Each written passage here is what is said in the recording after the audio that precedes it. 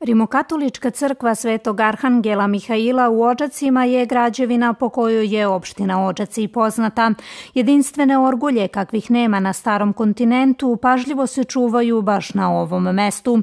Ođačke orgulje, osim što su autentične, izdvajaju se još po nečemu. Napravio ih je Kasper Fischer, čuveni graditelj iz Zapatina pre oko 200 godina. U njih je ugradio dodatni instrument, zahvaljujući kome proizvode jedinstvene tonove. Najduža cev duga je 5 metara, a najkraća 5 mm. Pravljene su u baroknom stilu i vrlo su akustične, kao i sama crkva, tako da sviranje ođačkih orgulja predstavlja pravo zadovoljstvo orguljašima. Priliku da svira na njima imao je i Kristijan Anberger iz Gornje Bavarske, koji je zajedno sa svojim kolegama muzičarima održao koncert. Prvo je bilo nekoliko engleske zajedno sa trompetama, da što su zajedno svirali, a on je nešto posebno što je baš specifično za ove naše orgulje odsvirao nešto. Kindheit. Dakle, od detinstva ja već sam upoznan sa orguljama i tako sam počeo da sviram i onda polako sam u sve više naravno ulazio u taj svet orguljaštva i onda moramo reći da su svake orgulje ipak za sebe specifične.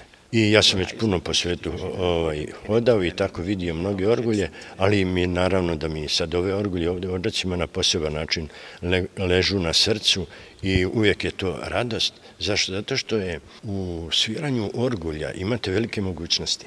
Možete izvoditi ne znam nijakakve kompozicije, kada to, a pogotovo kad to čovjek voli i zna, onda to ide tako.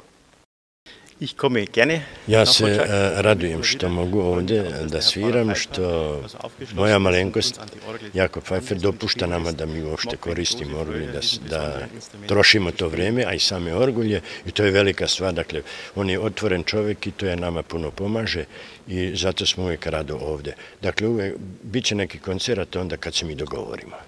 U našoj zemlji postoji nekoliko stotina orgulja, a najviše ih je na teritoriji autonomne pokrajine Vojvodine oko 170. Brojni kompozitori stvarali su dela za orgulje, među najpoznatijima je bio Bach, čiji doprinos u ovom domenu ostaje neprikosnoven. Kompozitori poput Mendelsona, Strausa i Lista takođe su koristili orgulje u svojim kompozicijama zbog njihovog prodornog i snažnog zvuka.